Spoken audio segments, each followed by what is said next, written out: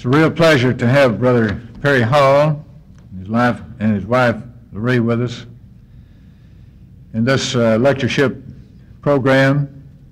It's been my pleasure to know Perry and Loree for a number of years.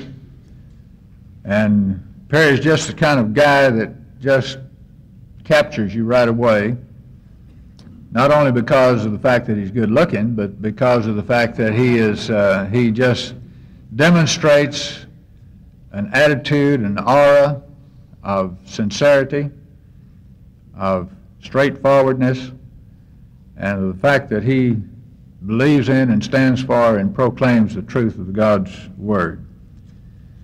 He began preaching in 1955 attended uh, Fort Worth Christian and Abilene Christian University, University of Texas at Arlington, and Dallas Baptist. He's worked with uh, a number of congregations in Texas, spent five years in the mission field in Wisconsin. He's traveled extensively in the European, Asian, and African uh, countries, 19 of those countries involved uh, with Bible Land slides used in, uh, in his preaching. He's conducted many, many gospel meetings. He's very popular in that area. He's called on a great deal for gospel meetings and lectureships such as this. He's done a lot of writing for our periodicals, and he is presently the pulpit minister for the University Church in Tyler, Texas. Perry is going to be speaking to us this morning on the subject Abraham's seed, heirs according to the promise. My pleasure to present to you Brother Perry Hall.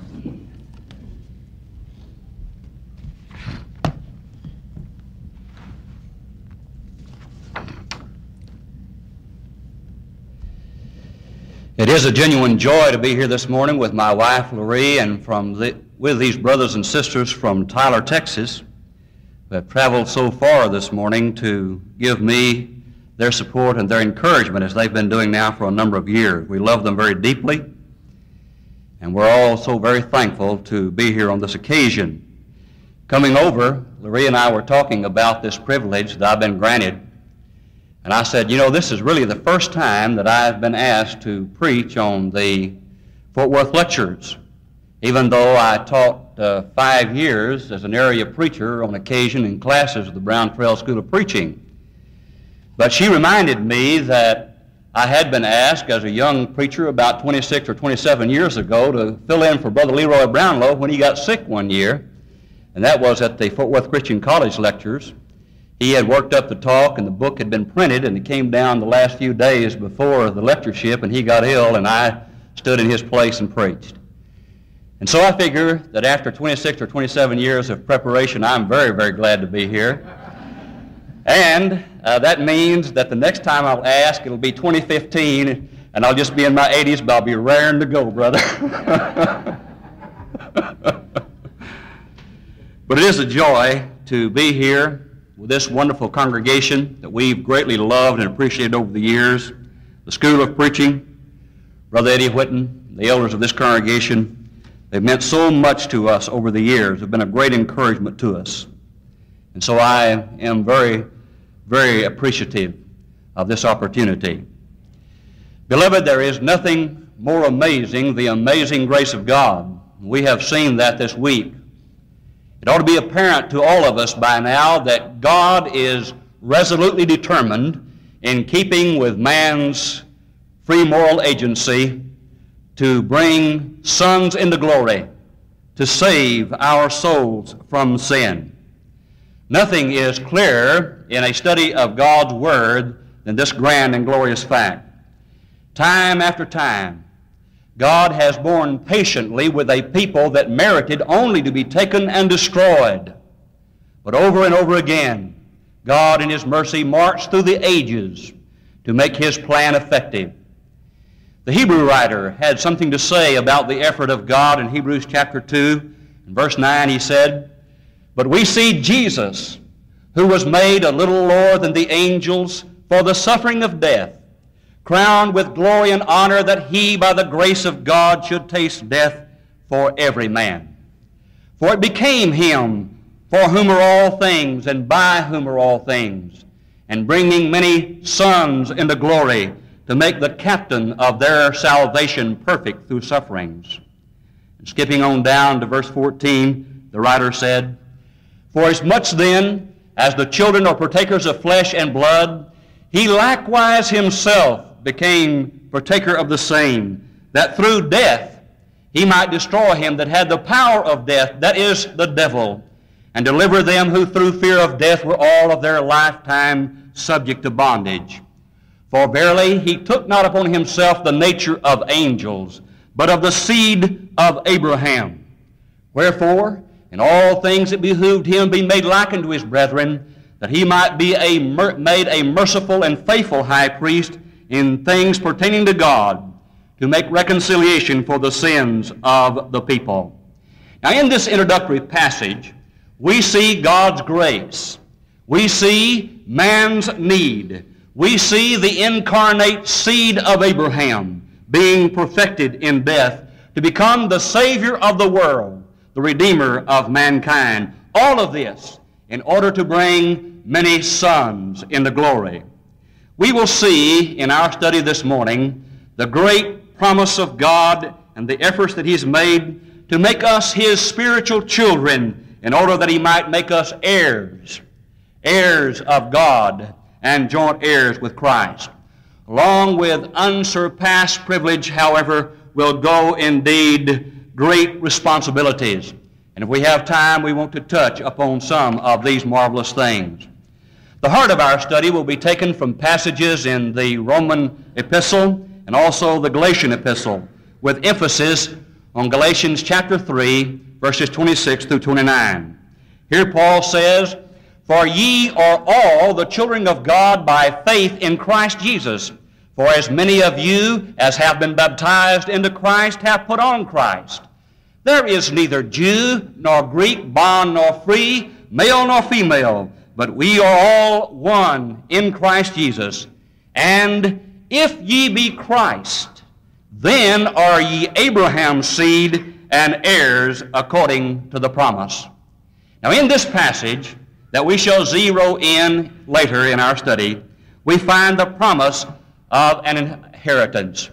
But we know that a promise is determined in value primarily by the one who does the promising, not by what is promised. If we cannot trust the one who gave the promise, the promise has no value at all.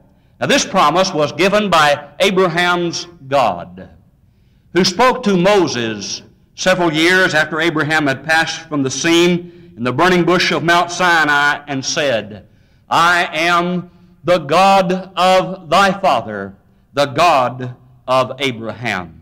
Exodus 3 and verse 6. Moses goes on to reveal in the first five books of the Bible the fact that Abraham's God was the creator of the universe, the one true and living God, omnipotent, omniscient, omnipresent, immutable, and perfect in all of his attributes. The Hebrew writer, speaking of these great promises that were given to Abraham, and urging Christians on to greater diligence, wrote in Hebrews 6 13 through 20 For when God made promise to Abraham, because he could swear by no greater, he sware by himself, saying, Surely blessing I will bless thee, and multiplying I will multiply thee. And so, after he had patiently endured, he obtained the promise. For men verily swear by the greater, and an oath for confirmation is to, the end, to them an end of all strife. Wherein God, willing more abundantly to show unto the heirs of promise the immutability of his counsel, confirmed it by an oath, that by two immutable things, in which it was impossible for God to lie, we might have strong consolation who have fled for refuge to lay hold upon the hope which is set before us which hope we have as an anchor to the soul, both sure and steadfast, and which entereth into that within the veil, whether the forerunner is for us entered, even Jesus. Now, the God of the promise is the Father of lights. James says, with whom there is no variableness, neither shadow that is cast by turning. And because he could swear by no greater, as one who could not lie, he swore by himself. And so the promise that God gave cannot fail. He cannot lie, for he is not a man that he should lie. Numbers 23 and 19. And so the God of promise is therefore trustworthy. And it behooves us then to look at the promise.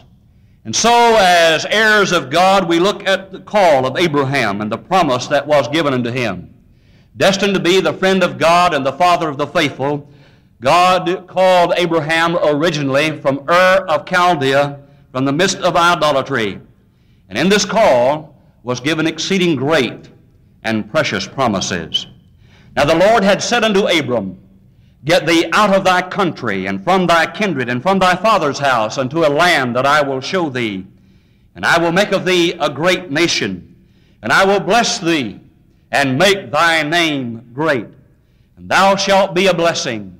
And I will bless them that bless thee, and curse them that curseth thee. And in thee shall all families of the earth be blessed.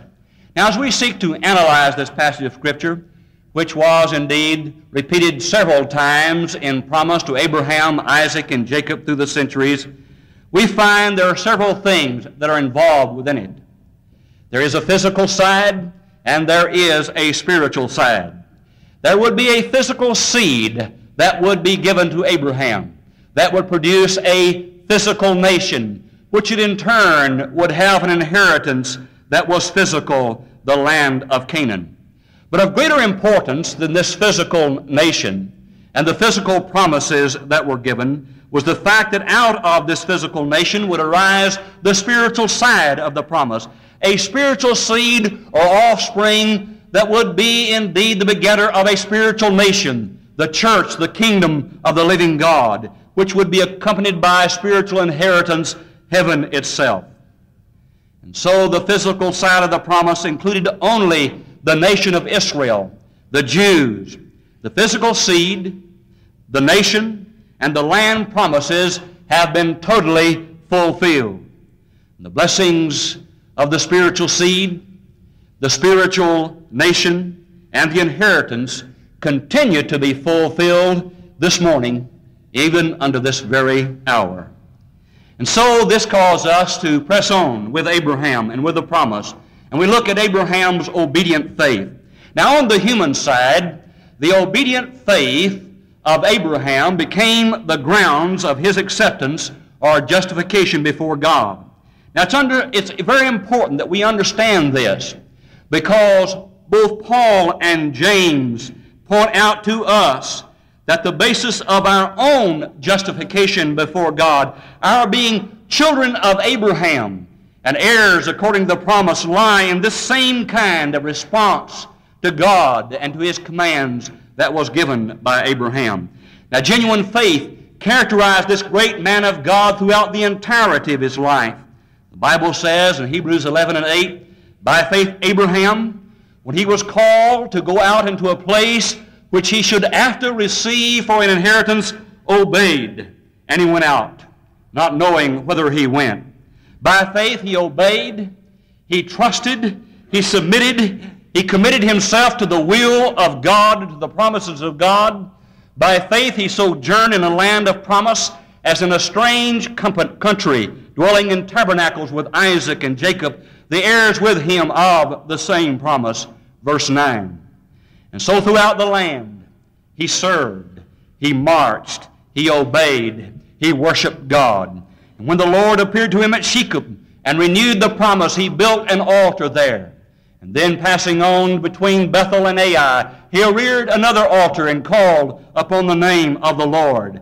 And then after his sad sojourn in the land of Egypt, he returned unto this very spot and again offered sacrifice unto God and called upon his name. Melchizedek pronounced a blessing upon Abraham when Abraham returned from the battle of the kings after rescuing Lot. And through the long 30 years that went on between the promise that was given to Abraham and the birth of Isaac his son, Abraham again and again, in hope and trust, went in unto his wife Sarah in the anticipation of begetting a son, in spite of the seemingly impossible circumstances of a barren womb and an aging body. Paul wrote in Romans 4 18 through 21 of this great man and his faith, who against hope believed in hope that he might become the father of many nations, according to that which was spoken, so shall thy seed be. And being not weak in faith, he considered not his own body now dead, neither the deadness of Sarah's womb when he was about a hundred years old. He staggered not at the promise of God through unbelief, but was strong in faith, giving glory to God and being fully persuaded that God or that he was able to fulfill that which he had promised. And so on and on toward the ultimate test of Abraham's great faith, Abraham marched, marched to the tune of the drum of God's command. And finally, he was told to take that son, Isaac, his only son, whom thou lovest, God said, and get thee into the land of Moriah, and offer him there for a burnt offering upon one of the mountains which I will tell thee of. And by faith he rose up and went. He did not doubt. He did not question, but he believed that God, in keeping with his promises, was able to raise Isaac from the dead in order to keep that seed promise alive. It was only because God stopped him at the point of that obedient faith as he sought to take the life of his own son that God indeed did stop his hand. And so such is the example of faith and obedience that's before us as heirs of the promise. And this brings us to consider Abraham's justification. Our brother James asked the question, was not our father Abraham justified by works when he had offered Isaac his son upon the altar? Seest then the how faith wrought with his works, and by works was faith made perfect? And the scripture was fulfilled, which saith, Abraham believed God, and it was imputed unto him for righteousness, and he was called the friend of God. Ye see then how that by works a man is justified, and not by faith only. Now, the works of Abraham were said, of course, to be perfected, through which he, he said to be justified, that faith working together with the command of God. We must realize that Abraham's justification, Abraham's faith, was not of his own devising as he moved to obey God, as he sought to offer his son upon the altar. Such an act was contrary to all human reason. God commanded, and Abraham obeyed. And due to the deep faith, the deep trust in the heart of Abraham for God, he acted upon the commandment. And thus we see that his faith was such that is said in the Scripture that it was fulfilled that which God had offered unto Abraham, and Abraham had believed and it was imputed unto him for righteousness. Now, this was not the first time that Abraham's faith had acted in such a way as it would be said that righteousness would be imputed to him or put down to his account. We find that God in Genesis the 15th chapter in verse 1 appeared to Abraham and said, I am thy shield and thy exceeding great reward. God renewed the promise at this time when Abraham expressed his impatience at its lack of fulfillment.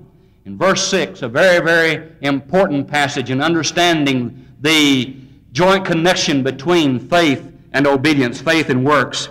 It is recorded, and he believed in the Lord, and he counted unto him for righteousness. So again and again, Abraham's faith moved itself in obedience. But the fact remains that righteousness was imputed to him that it was put down to his account. It was not something that was intrinsically Abraham's own, It was not a thing of merit. Abraham had not earned it. He was not a sinless, a perfect lawkeeper. As great a man as he was, the father of the faithful and the friend of God, we find that he indeed did not stand before God by merit. No man ever has, save the sinless Son of Almighty God who went to the cross for our sins. Only he is righteous in the absolute and meritorious sense. Now, beloved, there are only two possible ways that we can be justified before God, and that is to be entirely faithful or entirely forgiven. And as we've already suggested to you, no man has ever, outside of Jesus Christ, been entirely faithful to God. Now, the former is by merit, the latter by grace. And so, unless man can live 100% perfectly 100% of the time, he must look to grace. He must look to God's mercy, His infinite goodness that moves us to repentance, His unmerited favor. Such perfect obedience was not found in the life of Abraham. And so, in this sense, Abraham could not be justified before God. But Abraham was justified. His faith was counted unto him for righteousness. He was declared not guilty before God when that faith was reckoned for righteousness. So we find that God's grace came into play in this man's life. This grace was based upon the eventual fulfillment of the very promise that God had made to Abraham in the beginning that through his seed all nations of the earth would be blessed. That seed, of course, is Christ.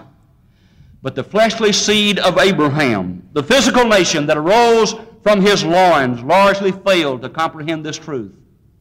They continued to hold on to their own law their own works, their own righteousness. I had the privilege last Thursday evening, for the first time in my life, teaching a group of young people in the Jewish synagogue in Tyler about the Messiah. To start with the book of Genesis and go through the great prophecies and the promise that was given to Abraham, to take them through some of the material that I am giving to you today, and to see them sit there in complete and total silence as though you could hear a pin drop in the room as I spoke of the Christ. And I went through his life and I came down to the great day of Pentecost and I gave them the arguments that Peter presented there through the power of the Holy Spirit to prove indeed the fact of his conclusion. And I quoted that conclusion to those young people. Therefore, let all the house of Israel know assuredly that God hath made that same Jesus whom ye have crucified, both Lord and Christ. And when went on to talk about the church, the community of believers, and how that it was organized, and how that it spread throughout the Roman Empire, and how they too must come to embrace in faith and obedience the Messiah, their own Messiah, if they would be saved. And then for an hour they shot every question at me they could think of. Beloved, it is sad and it is tragic today that there are so many that continue to reject God's promise, that they might be heirs. So let's look at Abraham's descendants, two mighty nations, fleshly and spiritual Israel, whereby the plan and promise of God to come from the loins of Abraham, they both would thus be of the seed of Abraham. God, however, willed that the physical be assimilated into the spiritual through the power of the gospel of Jesus Christ. But on a large scale, this was not to be. Only a remnant would be saved. It's not, as Paul argued, as though the promise of God or the Word of God was weak or failed, but it was because fleshly Israel rejected the plan of God and held on to their law that was given 430 years after the promise to Abraham. It was never the plan of God to make the law of Moses the basis of enabling man to be an heir of righteousness. Due to the weakness of man, as we've already seen, this could not be. It was impossible for man to live 100% of the time perfectly. Now, a purely legal system will always leave man in sin, and in their rejection of Jesus, this was what they finally made of the law. Paul argued, For as many as are of the works of the law are under the curse. For it is written, Cursed is everyone that continueth not in all things which are written in the book of the law to do them. But that no man is justified by the law in the sight of God, it is evident, for the just shall live by faith. And the law is not of faith, but the man that doeth them shall live in them. Galatians 3 10 through 13. Now, once a man has violated a single command of God, violated the law in any manner, he cannot be counted under that righteous, under that system. He must look to a Savior. And this is what I told those young people. I said, You have got to look to a Savior. You have got to look to Jesus Christ, the Messiah. And boasting on our part is forever excluded from our salvation because we are justified by faith in a Savior without the deeds of the law. Now, the blessedness of which David spoke and is quoted by the Apostle Paul in Romans 4 is this blessedness. Blessed are those whose iniquities are forgiven and whose sins are covered. Blessed is the man to whom the Lord will not impute sin. God does not put it down to their record based on their surrender to the Christ, to the Son of the living God. Now, this blessing was intended for all, circumcised and uncircumcised alike. And Abraham was declared righteous in his uncircumcision, that indeed he might be the father of all of them that believe. Paul declared this in Romans 4 13 through 16. For the promise that he should be heir of the world was not to Abraham or to his seed through the law, but through the righteousness of faith. For if they which are of the law be heirs, faith is made void, and the promise made of none effect. Because the law worketh wrath, where no law is, there is no transgression.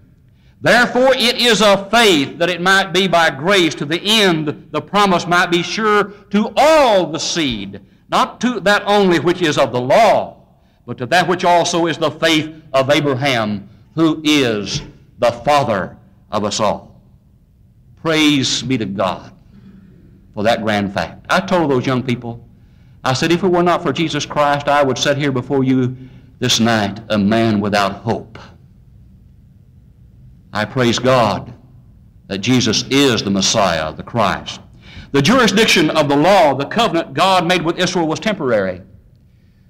Paul said it was added because of transgressions until the seed should come to whom the promise was made, Galatians 3 and 19. It pointed out to man his sin, the hideous nature of that sin, and his extreme and terrible need of a Savior. The law was that schoolmaster, that pedagogy or pedagogue to bring us unto Christ that we might be justified by faith. And when that faith came, we were dismissed from the care of the law, just as the child was dismissed from the care of that schoolmaster that brought them to the teacher, that they indeed might be taught the way. This then causes us to consider Abraham's seed. Though there is definitely a collective sense in which Paul uses the word seed, such as in Romans 4 13 through 18, the argument in Galatians 3 16 is an argument based upon the individual. The collective, the great spiritual heritage of Abraham has validity in that it focuses in the individual, in that individual seed, Jesus Christ our Lord. Paul said, Now to Abraham and to his seed were the promises made. And he saith not, and to seeds as of many, but as of one. And to thy seed which is Christ. Christ really was the means through a, which Abraham himself was justified, had righteousness imputed to him, and to make it possible for all us to become his children. And so, forgiveness of all of our sins, then, is simply the means by which we are justified before God, counted righteous before God. Our sins are washed away by God's grace and mercy within the cross of Jesus Christ our Lord. Before discussing the great example of Abraham's faith and justification in Romans 4, Paul prefaced these truths with the affirmation that Christ Jesus is the grounds of our justification. He said, But now the righteousness of God without the law is manifested, being witnessed by the law and the prophets, even the righteousness of God which is by faith of Jesus Christ unto all and upon all them that believe, for there is no difference. For all have sinned and come short of the glory of God, being justified freely by His grace through the redemption that is in Christ Jesus, who God both set forth to be a propitiation through faith in His blood, to declare His righteousness for the remission of sins that are past through the forbearance of God. To declare, I say, at this time, His righteousness, that He might be just and the justifier of them which believe in Jesus. Romans 3 21 through 26. Those in Christ, the seed of Abraham, were redeemed by the blood of the sinless Son of God who went to the cross for our sins. And we are made the seed or children of Abraham by faith.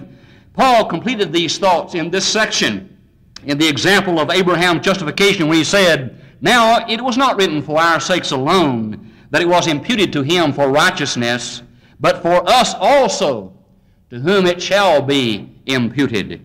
If we believe on him that raised up Jesus our Lord from the dead, and was delivered for our offenses, and was raised again for our justification. Therefore, being justified by faith, we have peace with God through our Lord Jesus Christ, by whom also we have access by faith into this grace, wherein we stand and rejoice in the hope of the glory of God. It is no wonder, beloved, when Paul ended the great doctrinal section of the Roman letter in the 11th chapter that he built into that grand doxology of praise and he cried out, Oh, the depth of the riches and the wisdom of God, the knowledge of God, how unsearchable are his judgments and his ways past finding out. To whom be glory forever. Amen. So, what amazing, what tremendous privilege, what joy is ours as being heirs of the promise of Abraham. But perhaps before we bring our lesson to a close, we need indeed to refine our understanding and look again at our original text. Now, who precisely are Abraham's children or heirs? This is the most profound question of the ages. Webster says, and I quote from him, that an heir is anyone who is legally entitled to inherit another's property or title upon the other's death, either by the provision of a will or by the natural action of the law. Now, a study of the Greek word kleronomos, we find that Kittel says of it, and it does not differ much from the definition that Webster gave it, quote, in Greek the word kleronomos circles around the concept of inheritance and never moves very far away from it. Now we know from Hebrews 9, 15 through 17 that a death has taken place. A will has been drawn up. It has been put into effect to show that God was right and just to pass over those sins in the ages that had gone by and that we know as we examine the last will and testament of Jesus Christ our Lord that God indeed has made it possible for us to be justified. But He has narrowly brought that line or seed line down, His selection and acceptance of the spiritual family, just as He did in the physical sons of Abraham. We find that Paul argued they are not all Israel, which are of Israel, neither because are they the seed of Abraham, are they all children, but in Isaac shall thy seed be called. That is, they which are the children of flesh, they are not the children of God, but the children of the promise are counted for the seed. Isaac and Rebekah, Jacob and Esau, it goes to Jacob. Jacob, through his wives, he has 12 sons, limited then to Judah. And then finally, out of the tribe of Judah, the family of David, through whom the promised seed would come. So one is not a child of God today simply because he might observe the law of Moses or he might be a physical descendant of Abraham. Paul made this quite plain in Romans 2 when he said, For he is not a Jew, excuse me, which is one outwardly, Neither is that circumcision which is outward in the flesh, but he is a Jew who is one inwardly, and circumcision is that of the heart and the spirit, and not in the letter, whose praise is not of men, but of God. Beloved, we are circumcised with that circumcision made without hands, buried with him by baptism, raised according to the faith and the operation of God. And so the blessings of Abraham, Paul said, might come on the Gentiles through Jesus Christ that we might receive the promise of eternal inheritance. If we are willing to make the same disposition with God's will as was Abraham, submit to it and obey it. In Galatians 3:29, Paul therefore tells us that we are heirs of the promise if we are Abraham's seed. And he goes on to say that we are Abraham's seed if we belong to Christ. Now, this is an amplification of what he's been saying in verses 26 through 28. Those who belong to Christ are those who have put on Christ. And he tells us that those who put on Christ are those who have been baptized into Christ. And their being baptized into Christ explains how it is that they have become the children of God through the faith. Four times in four verses here, Paul uses the expression the faith. In Galatians 3:26, therefore being justified by the faith is what the Greek says. And we need to understand that it is the objective faith, the gospel of Jesus Christ, that produces the subjective faith. Faith comes by hearing, and hearing by the Word of God, that makes it possible for us to be children of God. So if we are heirs that the seed, that means we belong to Christ. If we belong to Christ, we have put on Christ. If we put on Christ, we've been baptized into Christ. And through the faith we have been made the children of God. And we know that all the promises of God are in Him, yea, and in Him, amen. We are reconciled unto God in the one body, the church of the living God, through the cross. We have now obtained an inheritance, an inheritance that Peter says is indeed undefiled, that fadeth not away, reserved in heaven for us. Now, there are many responsibilities, blessings, and privileges that I discuss in the book, but you're going to have to look in the book. How that indeed Abraham and Sarah together brought about the kind of atmosphere as she submitted to the headship of Abraham. And Abraham, looking upon his wife as the weaker vessel, indeed did minister unto her. And in that environment, children were commanded that were obedient to God. You know, God has granted to all of us the grace of life. And when we think about that thought, we probably all think about heaven, the life that's there, the life eternal. But beloved, we have promise of the life that now is and that which is to come. I think of our mates. I think of our families, our children, and our grandchildren. I think of all the blessings that we have in which Christianity, like a living fountain, has poured the blessings of God over into His people and has created the kind of environment that we so desperately need in order indeed to perfect holiness in the fear of God. Wives were told by Peter to live before their husbands in such a godly, chaste way that they may, without a word upon their part, win their husbands by their godly behavior. All of us that would love life and see good days must refrain our lips from evil, that they speak no guile Eschew evil, do good. For we know that the eyes of the Lord are over the righteous. His ears are open to their prayers, but the face of the Lord is against them that do evil. We must seek to live in harmony with one another.